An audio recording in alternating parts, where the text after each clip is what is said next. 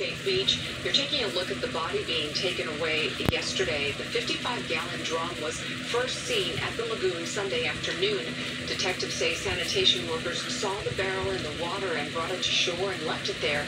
A lifeguard then found it yesterday morning. Investigators say they have so many questions. Apparently, at about 8 p.m. there's a high tide here, and there's a possibility that the container could have come in from the ocean and it got stuck in the lagoon.